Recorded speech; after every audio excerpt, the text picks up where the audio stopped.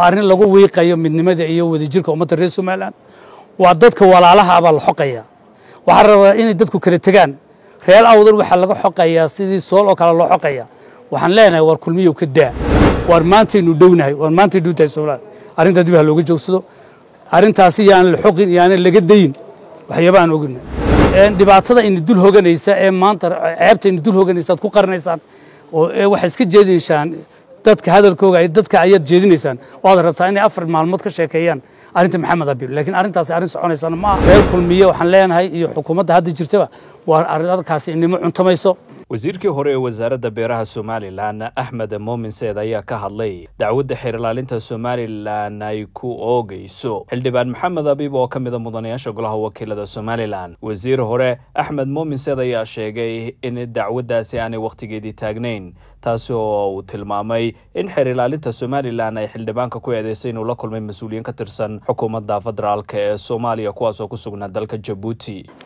Runtii maanta saxaafadda ana isugu ka yeedhay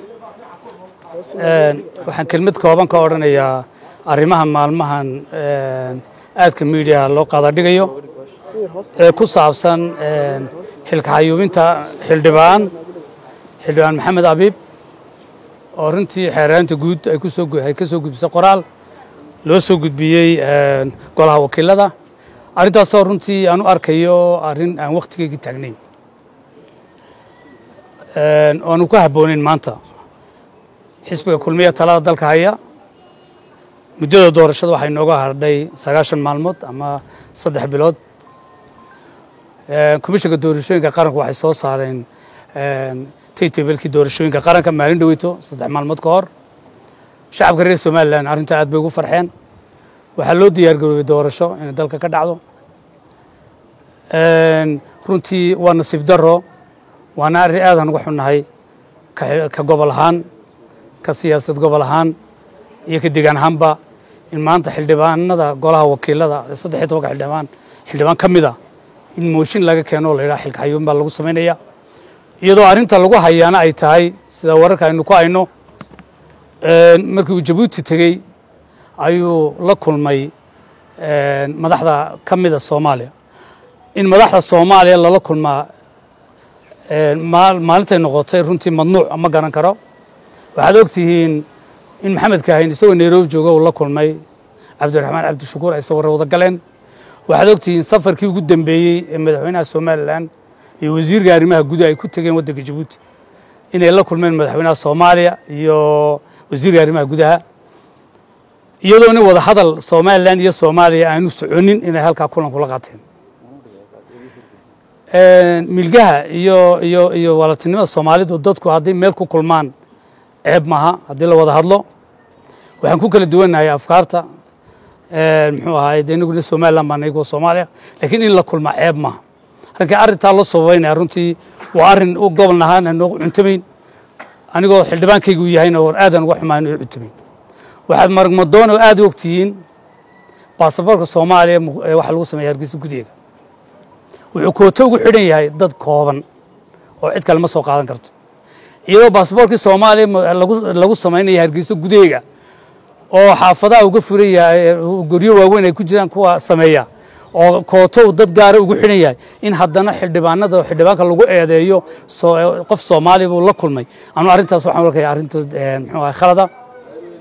Arrintii dhakool lagu sameeyey arrintii dhakool lagu sameeyey arrinteedii baan u arkaya midnimada iyo wadajirta ummadda reer somalilan waa dan. Xisbiga talada dalka aya kulmiye. Waxay u tafaxayteen inay somalilan madaxa isku wada geliyaan haddii in yar uun ay maanta somalilan mustaqbal ka leeyihiin wakhtiga maanta ay taagan yihiin waa wakhti doorasho waa wakhti xasaasiya waa wakhti aanay ahayn in la soo qaado in gobollada qaarkood la xantaxanteeyo. Reer awdal arrintaa waxay u arkayaan arrin aad iyo aad u adag. Midnimada iyo wadajirka ummadda reer somalilan gobolka awdal waa halboglihii weeye saddex iyo tobanka xildhibaan oo saaka xilka ka dega oo saddex iyo tobanka wax xasaanadda ay dhigaan baa ka dhow maxamed abid keligii arrintaas waa arrin la xoqayo waa arrin lagu wiiqayo midnimada iyo wadajirka ummadda reer somalilan waa dadka walaalaha la xoqaya. Waxaa rabaa inay dadku kala tegaan reer awdal waxaa laga xoqayaa sidii sool oo kale loo xoqaya.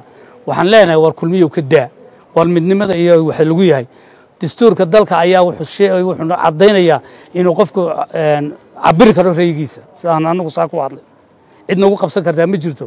Cid dastuurkaa noo fasaxay inaanu cabirno raygiga arrintaas odayaashuna way ka hadleen gobolka jooga xalay ka hadleen siyaasiyiintu way ka hadlayaan. Anigu waan ka hadlaya culays bay arrintaasi nagu tahay. Waxaanu ognahay awdal dhibaatada kale ee jirta ee guntaanu anigu ognahay in dadka haddana la sii xantaxanteeya diyaaruma nihiin reer kulmiye waxaan leenahay iyo xukuumadda hadda jirtaba waa arrinkaasi inimo cuntamayso?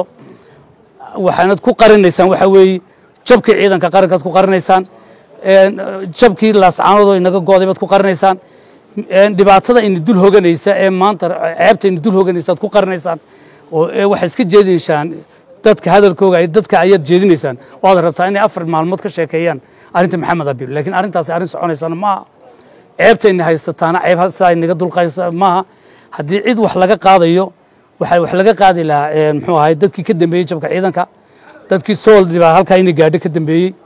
Waad arkayseen maalintii ay garaadadu soo geliyeen sool. Ciidamada s c iyagoo la socda oo calanka soomaaliya babanaya inuu jananka ciidanka militariga somalilan uu yidhi waa ciidankeeni ciidanka ismada ilaalinaya. Waxyaabahaasoo dhan baa dadkaasa lama xakamaday lahaa. War waxaan leenahay war ha laga joogo. War dadka walaalaha ayaana finto la dhex dhigin arrintaa maxamed abiib way adkaan doontaa arrintaasi dhibaato badan bay keeni doontaa waar maantaynu dhownahay waar maantay dhowtahay somaliland arrintaa dib ha looga joogsado. Arrintaasi yaan la xoqin yaana laga dayin waxyaaba aan arrintaas sababta maxamed abiib loo eryanaya maaha sawirkaa arrimo kale ku hoos jira. Nacasna doqonna loo sheegaya ninka raggeenu uu garanaya annagu laakiin waxaanu u aragnaa in in faqooq iyo takoor baynu maanta arrintaa u aragnaa. Waynana damqaysaa waananu ka hor imanaynaa mana ogolaanayno culayskeygana la arki doona haddii laga waan xamse xayd c b a t v hargeysa. Maasha allah soo dhowaada. La jaanqaad shirkadda telesom. Maxmil waxay kuu diyaarisay adeegga internetka ay faibar optiga kaasoo xawaarihiisu kala go' lahayn. Waa guji waa ishaa biligteeda. Intuu soo gudlanayo hadalba gam hagarle ii ku isticmaal sochial midiyaha kuna daawo wararka cayaaraha iyo onlaine geemiska haddaba maxmil soo gasho gurigaaga xafiiskaaga iyo goobtaada shaqo fadlan nagala soo xidhiidh nambarka gaaban